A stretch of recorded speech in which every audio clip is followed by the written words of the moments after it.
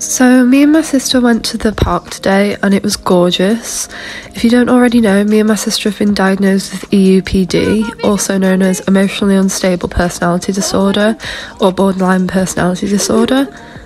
It's a really painful illness to live with because you end up destroying a lot of relationships that you have with people, especially like close ones, and it can be really difficult.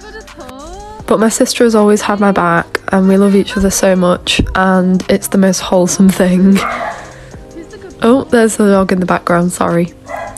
I think Bobby is like in the other room, like barking at my sister so that she'll give him food because she's a big softie and she will. so, with any disorder that's a lot like bipolar, you have to keep active and keep walking and keep exercising and everything balanced. So that's what we're doing today. We're just having a nice little walk and it was really fun. My sister and brother in law are both really disabled. Um, it's kind of personal information, so I'm not going to like mention why, but yeah, um, my sister struggled for a long time with the UPD and gone through a lot of therapy, and she's now a lot better off.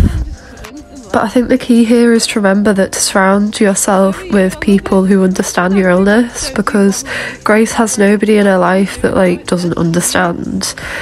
And that is like really helped her and it's helped me and we've helped each other because we've been best friends since I was born. She's like been a lot of a mother figure because she's so much older than me. She's like eight years older. And it's been lovely. Uh, she sort of like always looked after me. I was the youngest until Helena came along.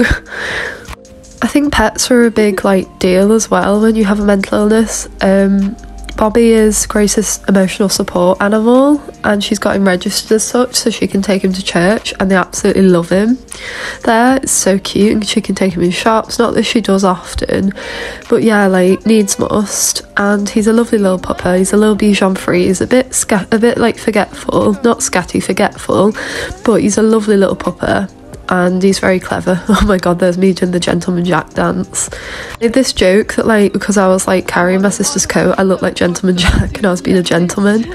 Anyway, um yeah, so this concludes the video and I hope you have a lovely day. Bye bye. Oh, wait, bonus footage, some lovely photos of the doggo and us. Check this out, it looks like a album. Grace and Bobby will be dropping their album soon, don't you worry. And there we go, there we are. My sister has been a big support since I came out, since I realised I was autistic, since I realised I had a UPD, bipolar, you name it. She's been there throughout it all and she always will be, and I love her. Bye bye.